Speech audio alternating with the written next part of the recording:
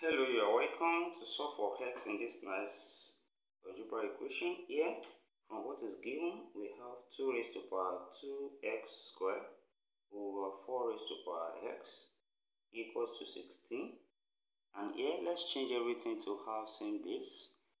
That is, convert everything to base 2 here. So we have 2 raised to power 2x squared.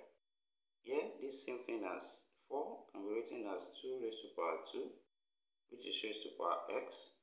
Now here, 16 can be written as 2 raised to power 4. 2 multiply itself 4 times. Then here, from the law of indices, this power can multiply, and this becomes 2 raised to power 2x squared. Then over here, this will be 2 raised to power 2x then equals to 2 raised to power 4.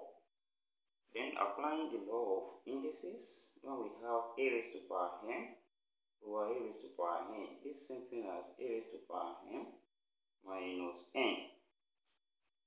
Then this will become 2 raised to power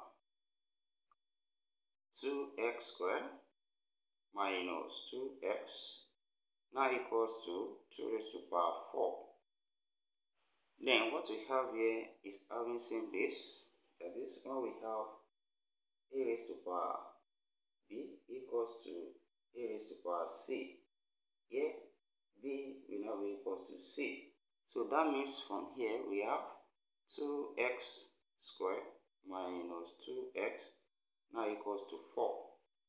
Then next, we take 4 here and this gives us 2x squared minus 2x minus 4 now equals to 0.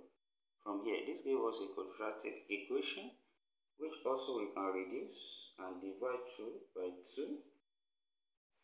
And this will reduce to x squared minus x minus 2, which is equals to 0.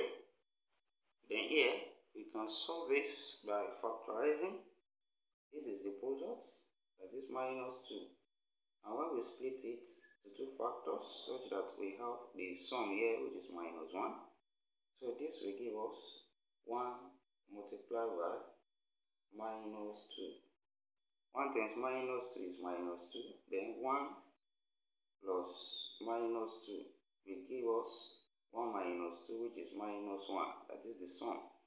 So from here, this will now become x squared plus x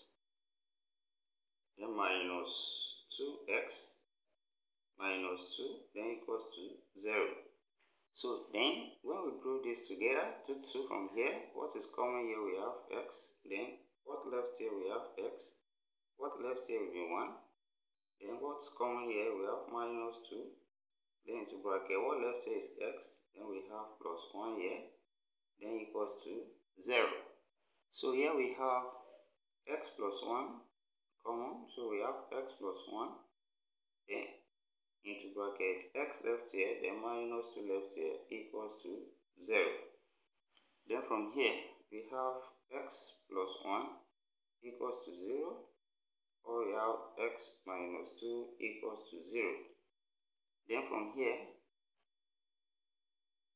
this gives us x equals to minus 1, and also from here, this gives us x equals to 2. And these are the values of x to this given problem.